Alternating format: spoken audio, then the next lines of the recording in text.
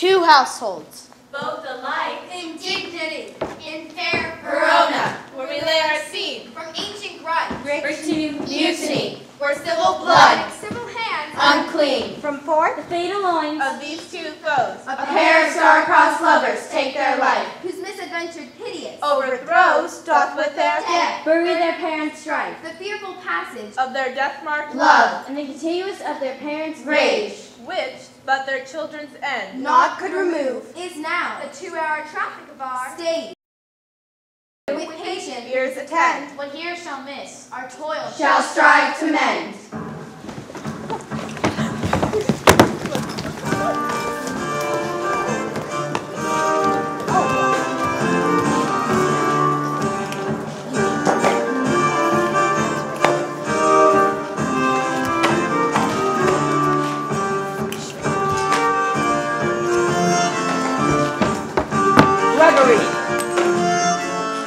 On my word, we'll not carry coals. No, for then we should be bowlers. I mean, if we be a polar, we'll draw. Aye, while you live. Draw your neck out of the collar, I strike quickly, being moved. but thou art not quickly moved to strike. A dog of the house of Montague moves me. To move is to stir. To be valiant is to stand. Therefore, if thou art moved, thou runst away. A dog of that house will move me to stand. I'll take on the wall of any man or maid of Montague. The quarrel is between our masters and us, their men. Tis known I am a pretty piece of flesh. Draw thy tool. Here's to thou the Montagues. Uh, my naked weapon is out. Quarrel, I will back thee. How? Turn my back and run? Fear me not. No, Mary, I fear thee. Let us take the law on our side. Let them begin. I will frown as I pass by. Let them take it as they list. Nay, as they dare. I will bite my thumb at them, which is a disgrace to them as they bear it. Do you bite your thumb at us, sir? I do bite my thumb, sir. Do you bite your thumb at us, sir? Is the law on our side if I say I?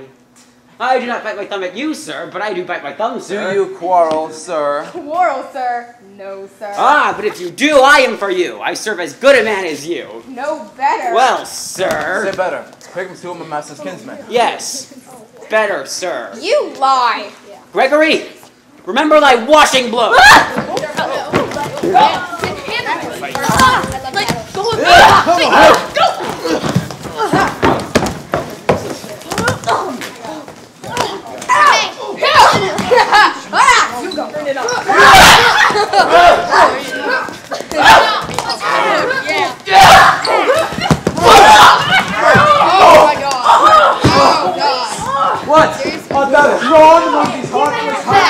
Turn thee, Benvolio, look upon thy death! I do but keep the peace. Pick up thy sword or move. The heart these men with me. Drawn and talk of peace. I hate the I hate hell, all Montagues, and thee! Have at thee, coward!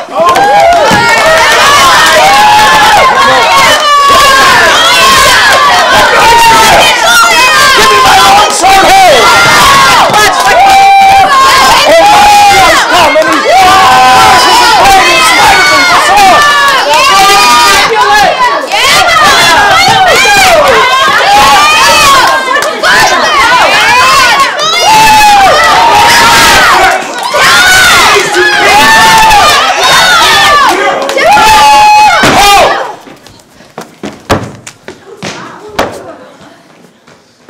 You men! You beasts that quench the fire of your pernicious rage with purple fountains issuing from your veins! On pain of torture, from those bloody hands, throw your mistempered weapons to the ground! And hear the sentence of your moved prince. Three civil brawls, bred of an airy word by thee, old Capulet, and Montague, have thrice disturbed the quiet of our streets. If ever you disturb our streets again, your lives shall pay the forfeit of the peace. For this time, all the rest depart away. You, Capulet, shall go along with me. And Montague, come you this afternoon to know our further pleasure in this case, to old Freetown, our common judgment place. Once more, on pain of death, all men depart!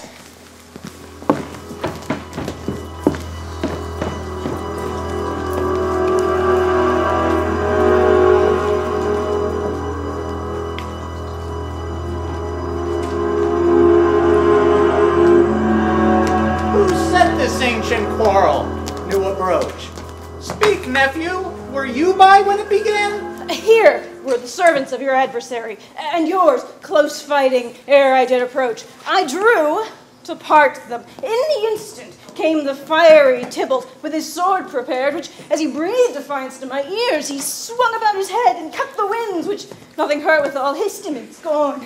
As we were interchanging thrusts and blows, came more and more, and fought on heart and heart, till the prince came, who parted either part. Ah, where is Romeo? Saw you him today? Right glad I am he was not at this fray. Madam, an hour before the worshipped sun peered forth the golden window of the east, a troubled mind drove me to walk abroad, where, underneath the grove of sycamore, so early walking did I see your son. Towards him I made, but he was ware of me and stole into the covert of the wood. Many a morning hath he there been seen, with tears augmenting the fresh morning dew, adding to clouds more clouds with his deep sighs.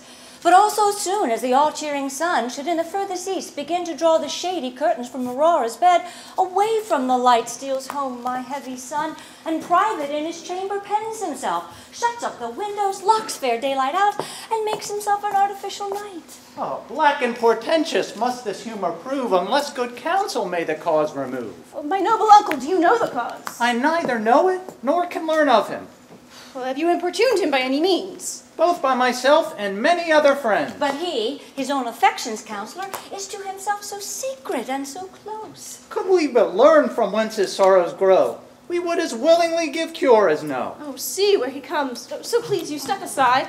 I'll know his grievance, or be much denied.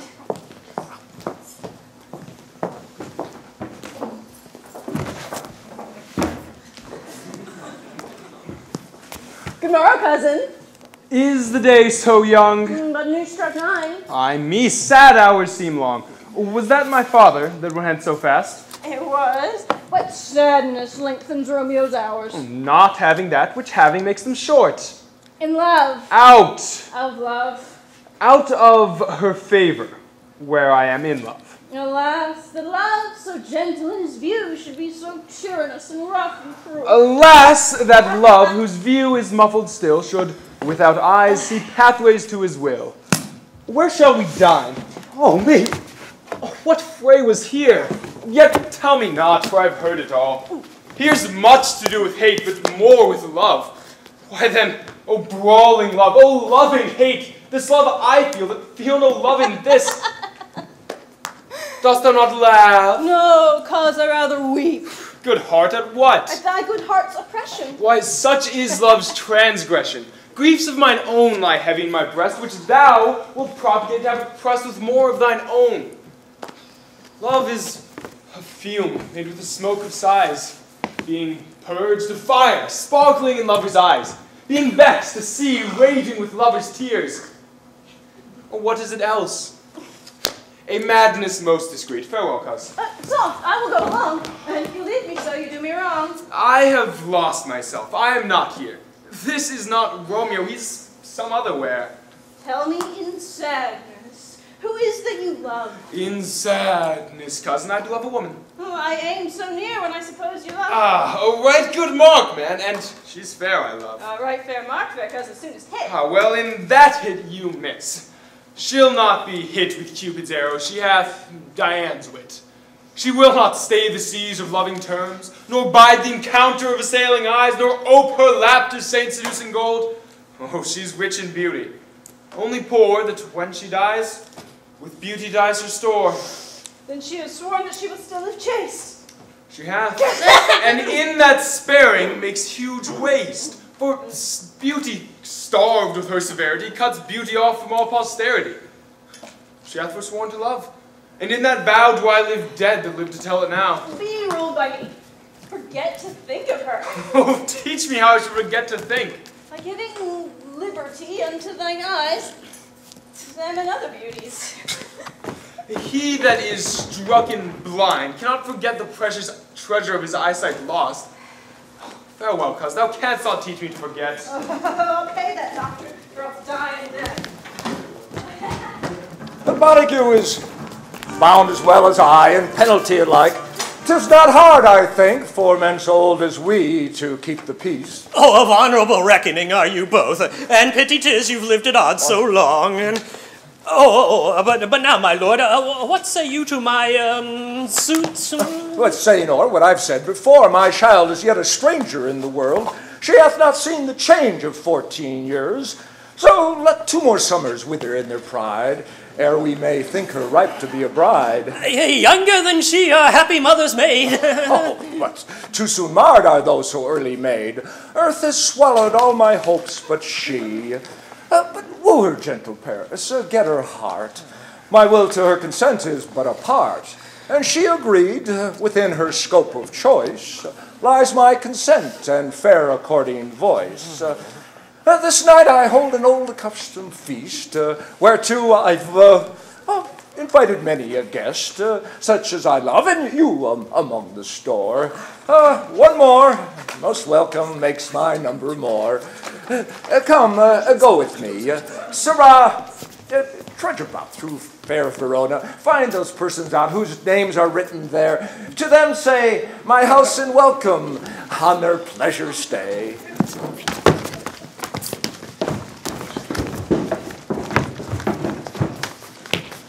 Find them out whose names are written here.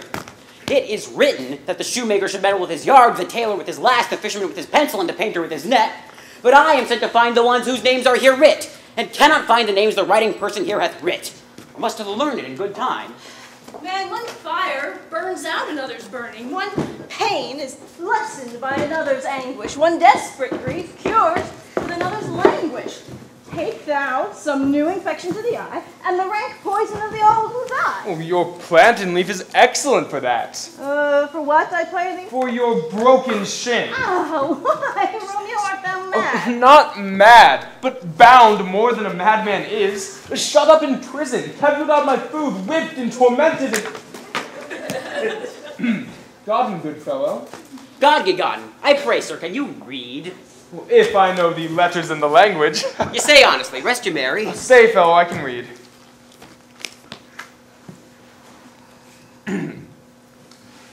County Anselm and his wife and daughters, Signor Martino and his lovely nieces, uh, the lady widow Vitruvio, Signor Placentio and his uh, fair sisters, oh, Mercutio and his cousin Valentine, mine uncle Capulet and his wife and daughters, my fair niece Rosaline, Olivia,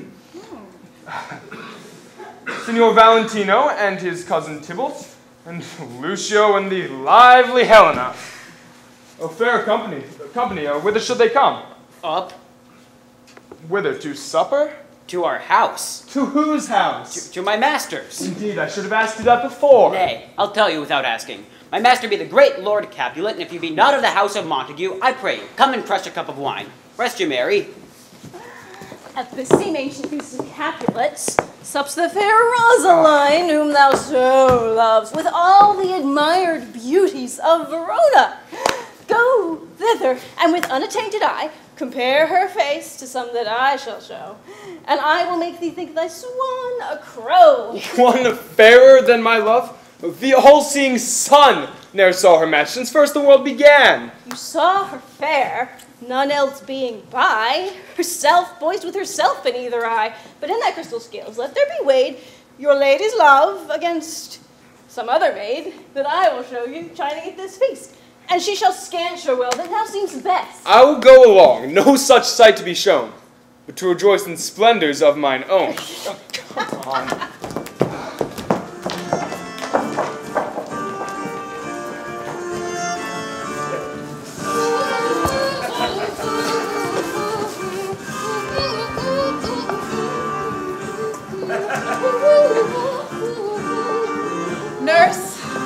My daughter? Call her forth to me. Oh, no, by my maidenote, a twelve-year-old, I called her forth. What ladybird? What lamb? Oh, God forbid, where can this girl be? What, Juliet? Ju Juliet? How now, who calls? Your mother. Madam, I am here. What is your will? Oh, this is the matter. Nurse, give us leave a while. We must talk in secret. Nurse, come back again. I have remembered me, thou your sir counsel. Oh, thou knows my daughter is of a pretty age. Faith, I know her age unto an hour. She's not fourteen. Oh, I'll lay 14 of my teeth. Though to my teeth be it spoken, I only have four. She's not 14.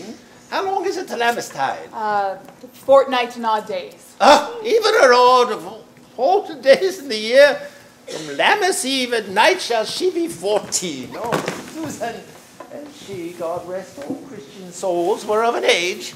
Well, Susan is with God. She was too good for me. But as I said, um, from Lammas Eve at night shall she be 14. That shall she be. I remember it well. Oh, 'tis since the earthquake now 11 years, and she was wean of all days in the year upon that day. Oh, I remember it well. For I had then laid wormwood to my oh. red dog, sitting in the sun under the doghouse. wa- Oh, my lord, and you were then in Mantua. Nay, I do bear a brain. But as I said, when it did taste the wormwood on the nipple of my tongue, felt it bitter. Oh, see it and fall out with the dog. since that day, it is 11 years. But then she could stand alone, eh, by the room. She could have run, waddled all about. For even the day before, she broke her brow. Oh, and then my husband, oh, God be with his soul, he was a merry man, took up the child. Yea, quoth he, dost thou fall upon thy face? Thou wilt fall backward when thou hast more wit, when thou not jewel.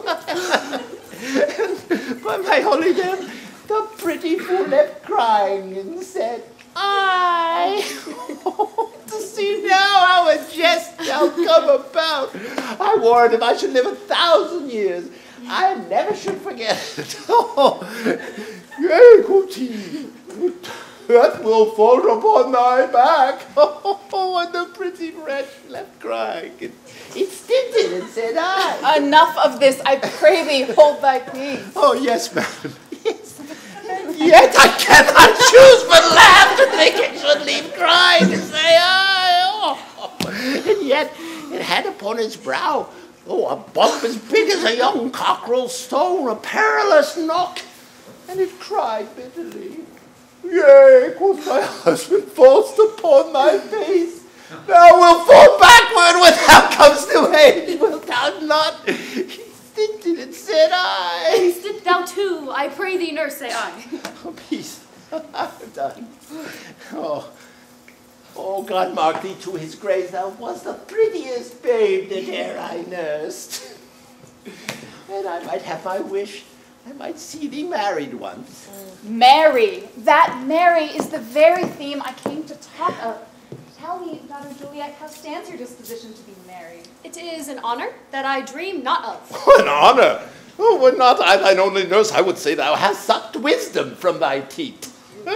Think of marriage now. Younger than you, here in Verona, ladies of esteem are made already mothers.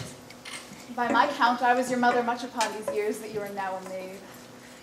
Thus, then in brief, the valiant Paris seeks you for his love. Oh, man, young lady, lady, such a man is all the world. Why, he's a man of wax. Verona's summer hath not such a flower. Nay, he's a flower, in faith, a very flower. What say you? Can you love the gentleman? This night you shall behold him at our feast. Read over the volume of young Paris's face and find delight writ there with beauty's pen. Examine every merry lineament and see how one another lends content. And what obscured in this fair volume lies, find written in the margin, in his eyes. This precious book of love, this unbound lover, to beautify him only lacks a cover. So shall you share all that he doth possess, by having him making yourself no less. No less? Nay, bigger women grow by oh. men. Speak briefly, can you like of Paris's love? I looked like, if looking liking move, but no more deep shall I engage mine eye than your consent gives strength to make it fly. Madam, the guests are come, supper served up. You called, my young lady asked for, the nurse cursed in the pantry, and everything in extremity. I hence to wait. I beseech you, follow straight. We follow thee. Juliet, the county stays. Go, girl. Seek happy nights to happy days. A fingernail!